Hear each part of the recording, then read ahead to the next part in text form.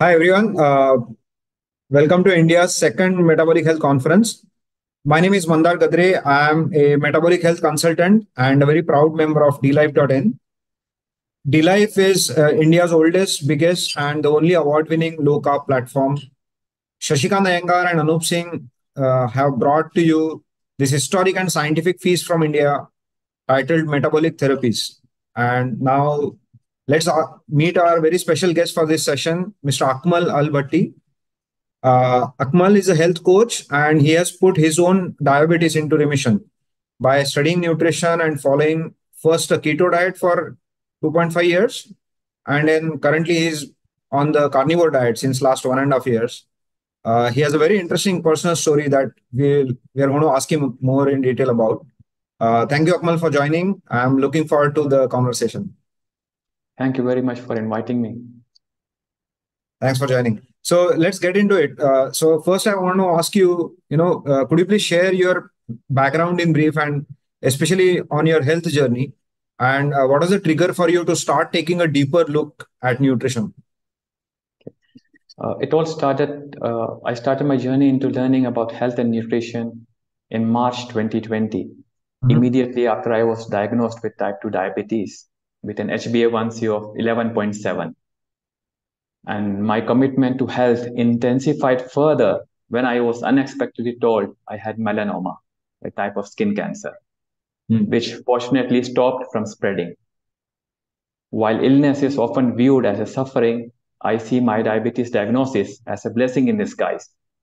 It prompted me to learn about health and diet, a path I might not have explored otherwise for as you have mentioned for the past four years i've been on i've been following a ketogenic diet.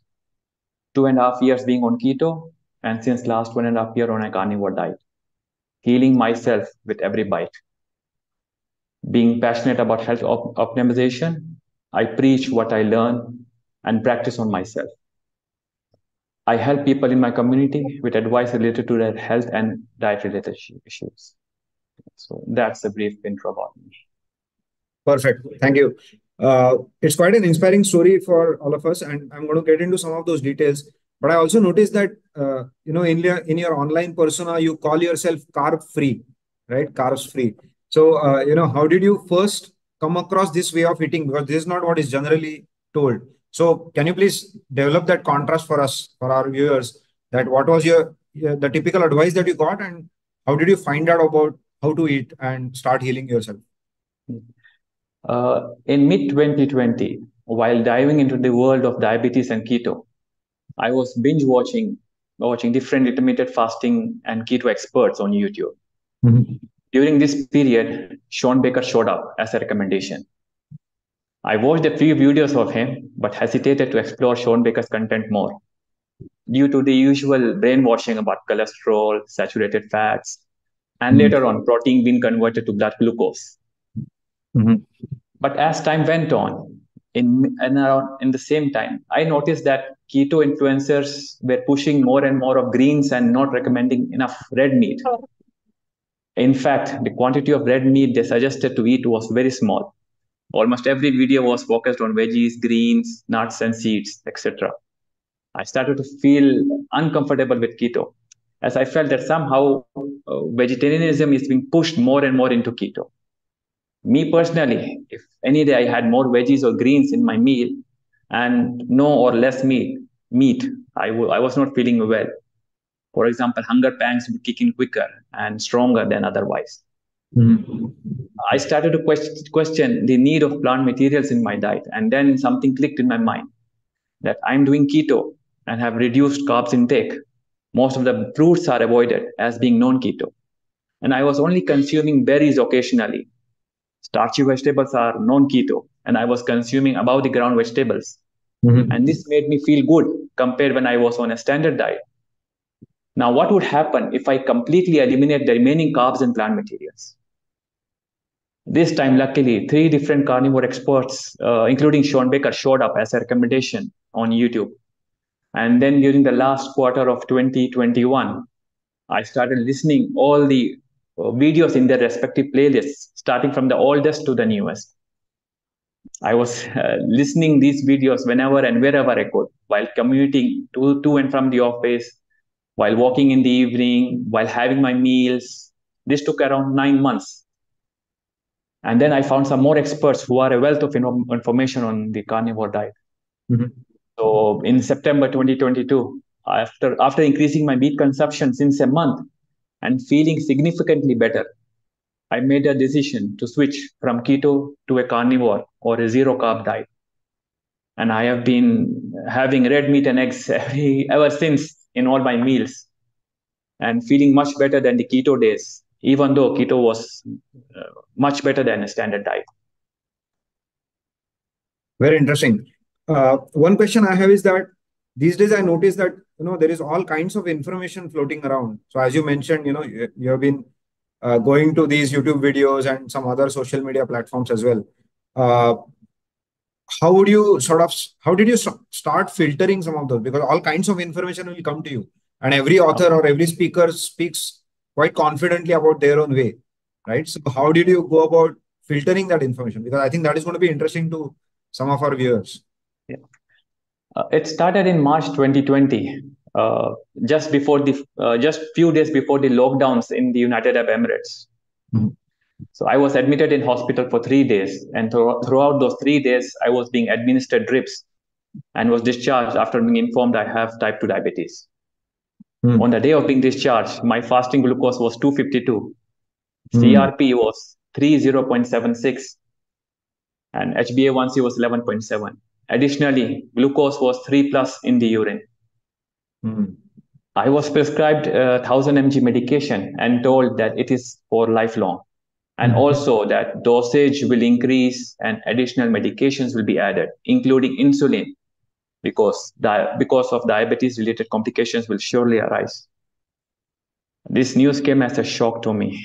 Mm. The doctor also conducted tuning fork and joint tests and informed me to come for follow ups for joint tests uh, every two weeks mm. for about four sessions to monitor my condition. As I learned more about diabetes later on, I understood that those tests were conducted to assess the extent of diabetes related complications, with mm. amputation being a potential, potential worst case scenario. Upon leaving the hospital and with all that in mind, and having no prior knowledge of what is diabetes and its causes, I felt as if I was I have been left blindfolded in a uh, forest and I'm mm searching for a way out. So within the first month, I started noticing that blood glucose levels were linked with carbohydrate intake. Mm-hmm. So I became extremely strict with my carb consumption by using an app to keep a log of my food. Okay. Uh, and in this process, I ended up eliminating sugar, grains, beans, starchy vegetables, most of the fruits and factory and, and factory made products from my diet. I even lost the urge of tea and coffee and, and, and eliminated it. Uh, for me, since uh, since childhood, I was a meat lover. Okay. So I still continued continue, uh, consuming some red meat, although it was mm-hmm. lesser in quantities now. But later, a nutritionist advised on completely swapping it for steamed, skinless chicken thighs or breasts. However, instead of uh, being instead of swapping all days, I swapped it on some days only. I also was having low fat yogurt and low fat milk as advised by the nutritionist due to the known false fear around surrounding animal fat. Mm. I relied on very few items from the carb exchange list provided, as most of them were carb heavy. Mm-hmm. So, uh, unknowingly, I was following a keto diet. Mm-hmm. So now, when I look at my logs, it was 20 to 30 grams of carbs in a meal okay. in a day. I began to feel better as my body fat decreased and my blood glucose levels gradually normalized. I just wanted to not only avoid getting any additional medications, which I was told I will surely get, but to also get off the single medication I was prescribed. After now, here's the interesting part. After a few months, I visited the doctor. Mm-hmm. He, noticing my rapid weight loss, he asked me if I was following a keto diet mm-hmm. and added that it is not safe. I honestly replied that I wasn't aware of what keto was. Upon returning home, I started searching about keto on, on the internet and realized that my dietary habits aligned with it. Mm. So thanks to the doctor for unintentionally introducing introducing me to the world of ketogenic diet. And after three months, doctor had to reduce my single medication dosage by half as HbA1c fell to 6.3. Okay. And from 11.7. And after another three months, he de-prescribed the medication, saying I don't need it any longer. At HbA1c was 5.3. Very so, nice. And uh, just one more, uh, what, uh, how they diagnose diabetes. Like later, I learned about the importance of fasting insulin and fasting C-peptide numbers. Mm-hmm. No doctor had checked it earlier. Not right. single doctor. Now with normal HbA1c, I was curious to find my C-peptide and insulin numbers, and I remember having to argue with the doctor to have them checked. He hmm. dismissed mm. my request, saying I have a normal HbA1c, hence there is no need for the tests. He further said that many people with HbA1c exceeding 10 were managing their conditions with medication and insulin while mm. enjoying normal life and that I should stop worrying, uh, worrying and start enjoying life. Even mm. suggesting I reintroduce rice, bread, sweets, etc. into my diet and not be strict and stubborn. Uh, I was, I just could not believe what he just said. Mm. I then went to another doctor who initially dismissed the need for further testing, right. saying that once diabetes develops, insulin and C-peptide levels remain elevated indefinitely due mm. to the genetic nature of diabetes. Mm-hmm. The normal what they say usually. However, I insisted him to conduct the tests, to which he finally agreed. I was mentally prepared that no matter how high the numbers come, I will at least have some benchmark to track. True. The results revealed a C-peptide level of 4.99 in October 2022. Okay followed by subsequent tests showing declining levels 2.78 in January 23 and 1.58 in April 23 last year. I then remember the doctor's words that diabetes uh, is genetic. Mm-hmm. And once you have it, it stays with you. And that fasting insulin and C peptide numbers will always remain high. I can only imagine what the numbers would have been when I was admitted in hospital in March 2020. Right, right. No, this is, I think you have been on a very interesting self-taught journey, I must say, right? Because you have explored the information yourself. Uh, you have clearly experimented on yourself and, you know, proven, first of all, to yourself and then to others uh, that you can put it in remission. So I think this gives hope to a lot of people who are listening. Uh, also, if I may ask, uh, what was your fasting insulin level? If you tested it, sort of, is there a contrast that uh, you saw there as well? uh, as I told you, uh, fasting insulin when I was diagnosed was not tested. Okay. So, uh, however, uh, the last three tests which were done, uh, I can, I have the C-peptide numbers. If you want, I can pull up the details. No, just ballpark is okay. But got it. We can come back to that. That's fine. Yeah. Uh, understood. So, uh, I, I have to ask. So, you you were maintaining sort of a ketogenic range of carbohydrates, right? about 20 to 30 grams. Yeah. So which naturally meant that you were eating a lot of protein and fat, of course, right? And then as you know, in, in our subcontinent, there is a lot of fear of eating that protein, right? And we tend to over rely on carbohydrates, you know, and people are afraid of proteins. So how did you get over that? Uh, you know, because people around you must have asked you or your, you know, caregivers may have warned you about that. Uh, ever since childhood, I like meat. Mm. I, I, cannot deny that. For me, a meal without meat was incomplete. And whenever okay. my mother cooked a meal void of meat during my childhood, she used to say that today Akmal will say he is not feeling hungry. As that was my excuse for not having a meal void of meat. Mm. So for me, the switch from standard diet to keto was an immediate decision one fine day. And okay. then from keto to carnivore again was immediate one fine day. Mm. In both instances, yes, I faced some initial challenges, uh, but I was uh, I was having uh, the willpower mm. to go over it. You know, like I remember once I was in my office having my my eggs, and uh, a lady saying, seeing and saying to me, "Do you know that the weekly consumption of eggs is around three, and you are eating ten in the meal?" Right. I just kept quiet, you know So there is a pushback, yes. But uh, personally, I've noticed that while there's some fear surrounding protein intake in people in, in Pakistan, but it's not as significant as the over reliance on carbohydrates, especially grains, which is surely one of the primary culprits for various medical conditions. Mm-hmm. In the northern and northwestern regions of Pakistan, people still, especially the older generation, still mm-hmm. primarily mm-hmm. consume red meat cooked in traditional ways in animal fat.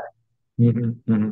Uh, in Pakistan, some influencers and nutritional experts spread propaganda against red meat and animal fat, citing various nutritional studies, which obviously are biased and purely purely executed. Mm. Unfortunately, many people tend to believe what these people say, but some return to their usual meat consumption after a few days. It's a common practice uh, here in Pakistan to have meat at least at least once or twice a week, especially on Fridays mm-hmm. whether it's beef, mutton, chicken, fish, and dishes like nihari, organs, brain, testicles, liver are also popular. Mm.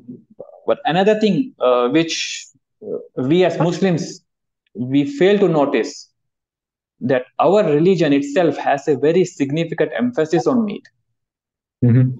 For instance, during happy occasions like when a child is born or something great happened in your family, bringing happiness, etc., our religion instructs us to sacrifice ruminant animals like a goat, sheep, lamb, cow, or camel. Mm-hmm. On Eid al Adha, also known as the Big Eid in South Asia, we are told to sacrifice ruminants and divide the meat into three more portions mm-hmm. one for ourselves, one for relatives, neighbors, and friends, and one for the poor and the needy. There is no mention of cooking and distributing plant items. So, in my personal view, consuming carbohydrates is nothing but a waste of time, money, and resources. You know, furthermore, it only leads to illness, resulting in additional expenses on medical treatment. It is clearly stated in medical textbooks that humans require zero gram carbohydrates provided that adequate amounts of protein and fats are consumed. Mm-hmm. If we eliminate carbohydrates from our diet, we will live a healthy life. However, if we keep carbs and remove or keep protein, and or fat, our body will only be getting sicker by sicker. Definitely. Also, also, many people are not aware that even spices, pepper, etc., contain carbs. For example, turmeric is 72% carbs. Black pepper is 71% carbs. And in South Asia, almost everyone cooks using turmeric and pepper. We have ruined our taste buds so much that having a food without the laundry list of spices that the food is tasteless. So it will take time for the general uh, public to overcome this over reliance on carbohydrates. Understood. Well, one thing i'm curious about is that as you mentioned you you were a meat eater you know uh, uh, or rather meat lover. Uh, yes. but uh, help us understand. So uh, have you had you tracked your carbohydrate consumption levels uh, you know, before you were diagnosed, or maybe can you estimate for us so that we get an idea? Because you still had to sort of go through the diabetic journey, right? Uh, it was basically a mixed diet, standard diet. Hmm. You know, my favorite dish used to be a, a Yemeni dish called mandi. You know, you okay. have the uh, roasted uh, cut of lamb mm-hmm. placed on a rice on a platter of rice. Yeah. So it was typical uh, carbs and proteins and fat fat mix standard diet. Understood. Understood. So this actually illustrates a good point that, you know, uh, as you know, in the subcontinent, even people who call themselves non-vegetarians, a lot of times they are eating meat, as you mentioned, maybe a couple of times a week, typically, in fact, once a week. That too also in one meal and, and a few pieces because it's still not the king of your plate, right? The protein and fat is still not the king of the plate. It's still a lot of carbohydrates. So that's why I was curious about, you know, those levels. Uh, another thing I want to ask you is, uh, you mentioned the right cooking practices, especially the animal fats. So, uh, and I know you also uh, create a lot of interesting videos on on cooking, and you know you uh, spread awareness. So, uh, what are your go-to, uh, you know, cooking oils or what, what do you like to use? Uh, during my carnivore journey, I was initially I started using tallow, homemade mm-hmm. tallow. Mm-hmm. Then I started I switched to ghee also for a change. Mm-hmm. And, uh, and now recently, since past one year, I'm using just chunks of uh, suet, the fat around the kidney of the cow, the, the, the fat chunks, cut into bite-sized pieces. So I just put it in the frying pan, and the oil comes out, and I put my steak in it. Perfect. Understood. And during during keto times, I was into coconut oil, MCT oils, and all these things. Got it. Uh, I also have seen uh, sort of your weight transformation photos. So I want to ask yes. you about that as well because you experienced not just the blood glucose, which I imagine you were tracking, but also you saw uh, differences in you know how how you looked. And so, can you please tell us uh, what was the you know the weight loss journey as well? Uh, yes, the most the the biggest portion of weight loss happened in the first uh, the first year okay between march 20 to march 21 mm-hmm. and i was uh, like before being diagnosed i was around 120 kg mm-hmm. oh. so c- currently i'm around 80 mm-hmm. and during keto i even reached uh, someone won't believe it i reached 53 during keto this is very interesting because here you are saying that you know you ate a lot of uh, fat and protein but you lost fat so yes. uh, it's good for our audience to understand that uh, it, it's much more a hormonal issue than you know uh, just a caloric issue. Uh, got I'll it. just add one. I'll just add one point here mm-hmm. about the fat. Body will keep the fat required. Any excess will be excreted. Hence, you get the loose stool when you're mm-hmm. on a carnivore diet. When you have excess fat, it comes out. It doesn't get stored. Very interesting.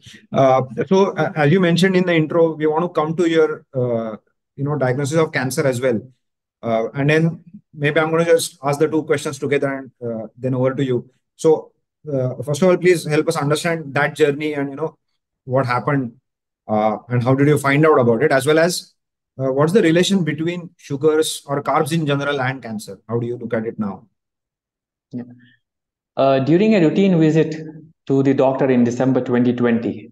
Mm-hmm. The doctor was not feeling okay with my rapid weight loss. Uh, like he was unaware I was following a ketogenic diet mm-hmm. because he told me it's not good for health. So he told me he wants to do a physical examination of myself to see if he's able to find any abnormality on my body associated with the with the rapid weight loss. Mm-hmm. So upon examination, he found an abnormal dark colored patch with an asymmetrical shape.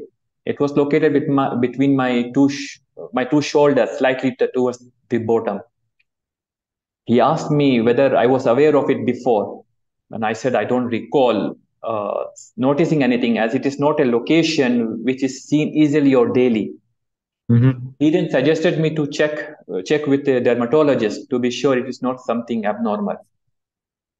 So I went to the dermatologist, and after examining the patch, she suggested conducting a biopsy to send a sample to the lab for further analysis. Mm-hmm. When I inquired if it was a cause of concern, she just she just explained that it doesn't it didn't resemble a typical mole due to its shape, and that we can only know about it once uh, the lab reports come. So I got the biopsy done in January 21 this was approximately 10 months after being diagnosed with type 2 diabetes. Mm. A few days after the procedure, I received a call from the dermatologist informing that the lab report is confirming it is melanoma. Mm. I inquired further and she asked me to visit her. And during the meeting with her, she explained that melanoma is a type of skin cancer. Mm-hmm. It shocked me. She advised me to consult with an oncologist as soon as possible. Um, I was feeling very overwhelmed by the successive health challenges within the past year. Mm. You know, I couldn't help but think about my luck, wondering why, unfortunately, I seem to be encountering a new medical condition each year. Like previous year was diabetes, and now I've got melanoma. I then scheduled an appointment with an oncologist and the oncologist said that I started developing melanoma, and luckily the cancer cells died where they started and did not spread. Mm. I asked the cause of it developing. He said long exposure to sunlight is the likely cause, to which I replied that my, my job is office related. So, and there is no significant outdoor work here or where I can get exposed to sunshine, sunshine for long durations. Mm-hmm. And then he said that sometimes exposure to sunlight, even for shorter periods of time, uh, can result uh, this developing, especially in, in brown skinned people like South Asians. To which I replied that the part where it is found is always covered, whether I am in my house or outside. True. So I could not get a clear cut answer for it. Hmm. I then asked him also, like, if it is possible to know, like, approximately when did it start or when did it die off? He, mm-hmm. There's no answer from that. Uh, anyhow, then the oncologist now advised a precautionary measure of conducting a full body PET CT scan to ensure that it's no, it is not somewhere else. For mm-hmm. the scan, I was injected with a radioactive material tracer, sugary tracer, normally it is. And thanks to God, the results came back clear. However, as a further precaution, doctor recommended surgically removing the flesh fat and skin surrounding the area where the dead cancer cells were located. Mm. Around three square centimeter area. So I then started to search more about cancer and its causes and cures online and found interviews of people who have cured cancer on ketogenic diet. Then I understood that the reason it did not spread and in fact went, went away is most probably it had started around the same time when I started my ketogenic diet. So, because I had that time strictly removed sugar and carbs from my diet and following intermittent fasting as well, which I actually did for diabetes. And in the end, it turned out to be curing my cancer as well. Got it. Uh, Akmal, sorry, we, we sort of lost you just for a few seconds. Could you please uh, repeat the last couple of sentences? when you uh, just to the sugar and the cancer connection, please. Yeah. Yeah. Uh, I then started to search about cancer and its causes and cures online mm-hmm. and found interviews of people who had cured cancer on ketogenic diet. Right. And then I understood that the reason that it did not spread and in fact when I went away in the early stages was most probably coincidentally I had restricted I have I had actually strictly removed sugar and carbs from my diet and following intermittent fasting, which I actually did for reversal of diabetes. Right. So it helped me there. Perfect. Perfect. Now, this is, I think, uh, first of all, congratulations on uh, putting these conditions in remission. Uh, and it's very interesting to know how they are so closely connected.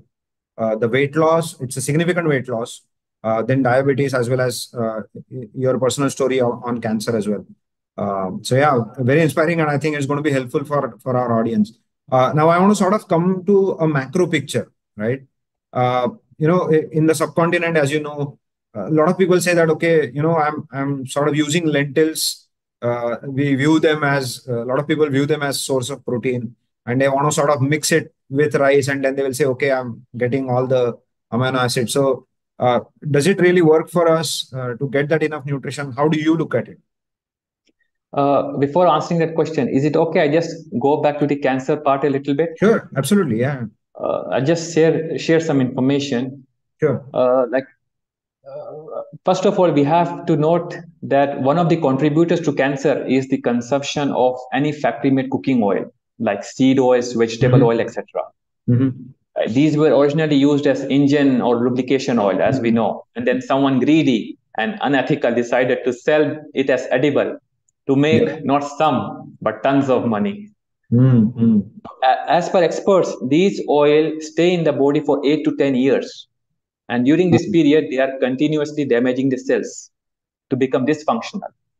Mm-hmm. And then the cells become what is a cancer cell. And a mm-hmm. cancer cell requires many times more energy to function compared to a normal cell. Mm-hmm. So, uh, consumption of cooking oil and carbs leads to medical conditions showing up. For some, it might be kidney issues, for some, blood pressure, for some, diabetes, for some, heart disease, for some, cancer, etc. but all these issues can be cured if we remove the things that cause and feed it. So I see it this way: the oils, along along with other factors, mm-hmm. will help create the fire, which is cancer, and the sugar is the fuel for the fire to spread. Mm-hmm. So, and regarding the second part, uh, like for the fuel sources of cancer, they basically have two main sources glucose and then amino acid glutamine so the easiest way for us to make sure that the cancer cells are well fed is having carbs through the mouth so mm. in hmm. theory we ourselves are happily feeding cancer cells one bite at a time or one sip at a time you know so if we just eliminate the carbs and and as for the glut- uh, glutamine, uh, the glutamate, the amino acid, it's very frequent. It's abundant in the body. So for those who are, who are on in advanced stages of cancer, can use glutamine blockers strategically along with some uh, supplements like fisetin, etc., and multiple day fast to get the GKI index lower than one, one or below. It mm-hmm. can help a lot. So uh, that I wanted to add there about the cancer part.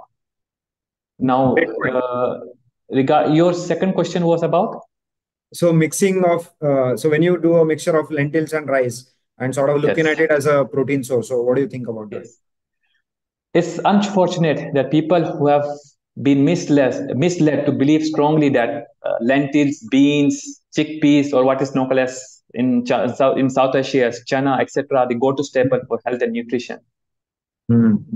fats and proteins are a fundamental requirement of the human body Mm-hmm. Our body does not know fat and protein. It knows individual amino acids which combine to form protein and individual fatty acids which combine to form fat. However, when considering plant based sources of protein, it's common for them to be void or deficient in certain amino acids, mm-hmm. resulting in an incomplete amino acid profile.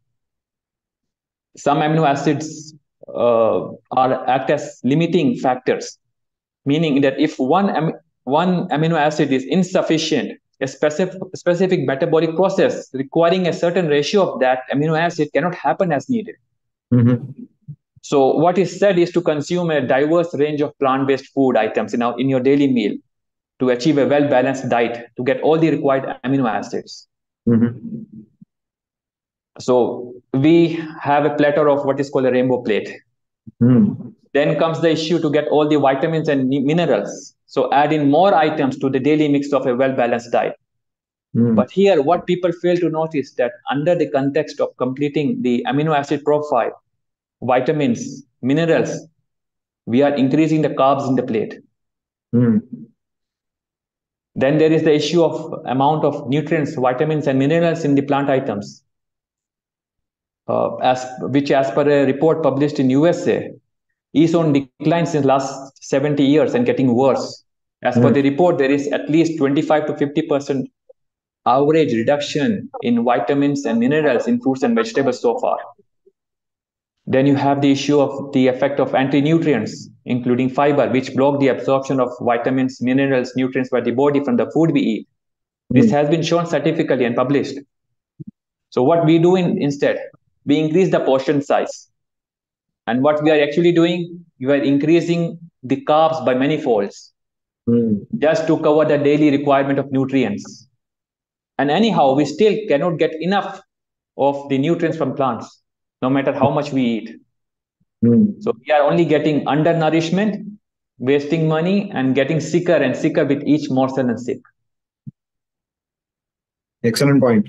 Also, I noticed that uh, in your way of eating that you have been doing currently, uh, there is no fiber either, right? Virtually no fiber. So, you know, but isn't fiber essential? And, you know, uh, that's what we have been told. So, what's your experience on it? And how do you look at the science of it? Uh, on a carnivore diet, due to the absence of anti-nutrients and fiber from plant items, body is effectively absorbing as much, as much of nutrients, vitamins, and minerals as possible.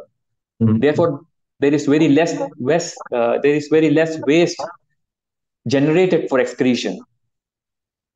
Now, note that I'm against keto, but as I was, I was having lots of fiber on keto as people normally do. My bowel movements were same as that when on a standard diet. Mm. Some days even bad. bulky stool, hard to pass, etc. This, this was inspired me having too much dietary fat than on a standard diet. Mm. But switching to a zero fiber diet, my bowel movements are best since decades. Less frequent bowel movements, easy to pass, less time, meaning saving a lot of time for other things in life. During the initial days of carnivore, it was around seven to 10 days, but now it is somewhere around once in every two to five days.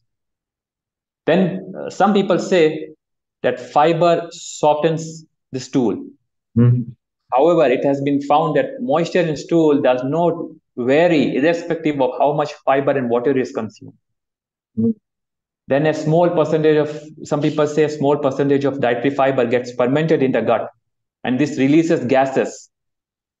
And since our gastrointestinal tract is very small compared to a herbivore animal, even a small amount of this gas then causes bloating in humans, which we complain of frequently on a standard diet.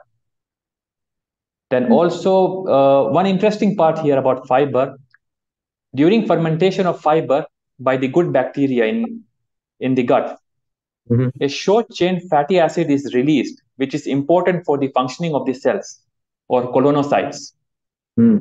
that are in our colon. Like these cells are what are lining the uh, the walls of the colon.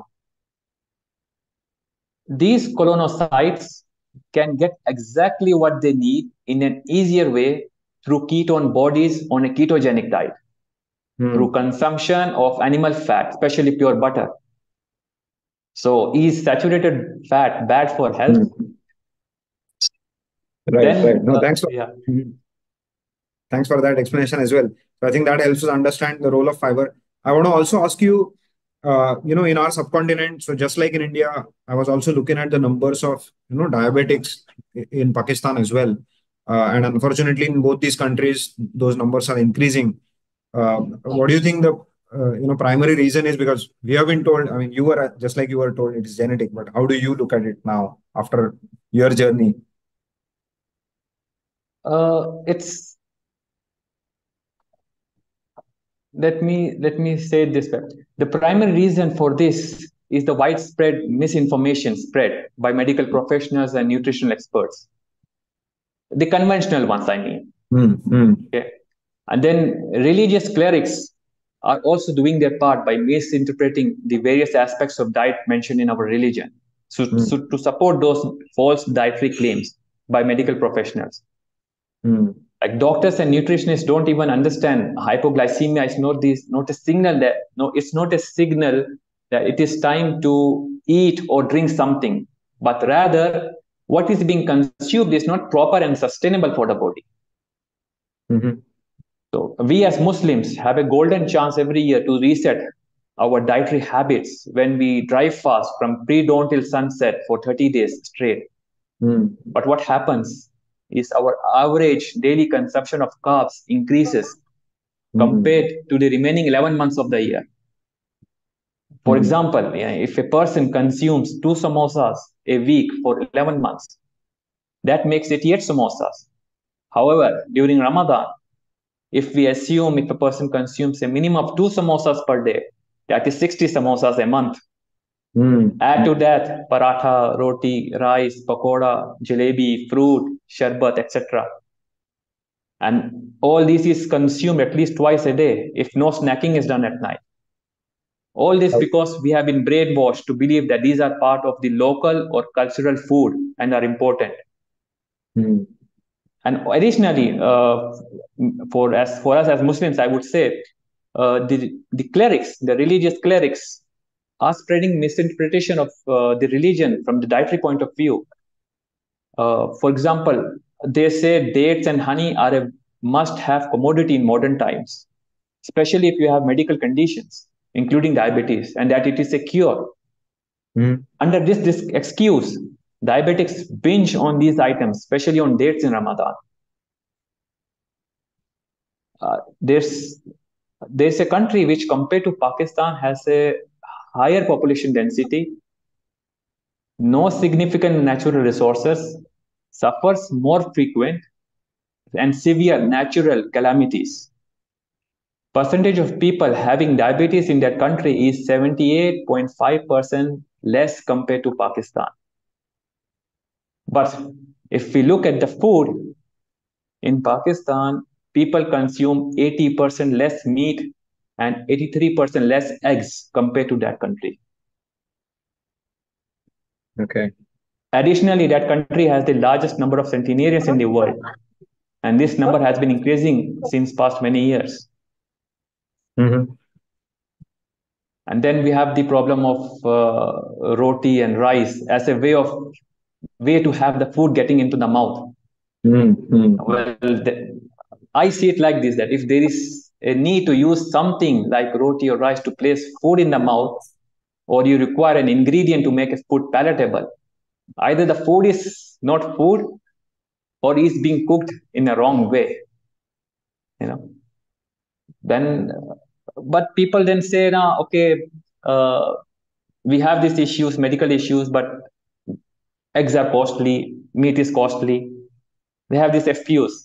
Mm-hmm. They fail to notice that, you know, a roti from a bakery or tandoor, a cup of tea, handful of nuts, seeds, any snack can easily be replaced with a single hard-boiled egg and be a be healthy, nutrient-dense option in the same price Mm. you know but they don't mind wasting you know or uh, consuming five plus rotis in a meal or having multiple cups of tea in a day you know for them that is okay Yeah, very well put. And we also tend to measure how much we ate by the count of the rotis, right? We say that, okay, yeah I ate three rotis or I ate only one, so I ate less. Unfortunately, that's the reality. So yeah, uh, thanks for such an illuminating discussion. We are drawing close to the end of the session. Uh, Yes. may I request Shashi uh, to join in, please? Yeah, Anup is also there. Anup, get Anup in. Hello. Yes. Yeah, Anup is here. Akmal, thank you very much for accepting the invite and sharing your inspirational journey. So, what started as as as a diabetes uh, uh, recovery or remission journey, in that you also found that you had cancer and you were able to successfully uh, uh, get it under control, or it got control automatically since you are following a, almost sort of uh, a, a dietary pattern which is now recommended as a protocol for for cancer patients by many top thought leaders like Thomas Seyfried or yes or Nasha Winters. We had them uh, a couple of days, and then today we are going to have one more Dr. Alex talking on cancer. But I think it's a very inspirational story, and that's why we thought we will get you, even though you are not a doctor. But nevertheless, we need individuals who will come and tell us their success stories with this. So very, and you also gave us some insight about what is happening in your country where the diabetes prevalence is very high. It is more than 20%, whereas even India is having 11%, but yours is very 20, 20 26%. Yeah. Something is seriously wrong with the food, the kind of excess carbohydrate, sugars, and even let us say uh, the kind of seed oils you use, which everything really exacerbates everything. So thank you very much. Anup, Yeah, Mr. Akmal, first of all, congratulations for being healthy again by thank dumping the the dumping the uh, industrial diet dressed as standard diet or standard dietary recommendation. I have no hesitation in saying that that diet is crap, right? And we concur on to many points, especially on fiber. You highlighted the fact that fiber, you know, it. Uh, I normally say fiber is not intelligent. If it slows down glucose, uh, you know, rise, it will slow down everything.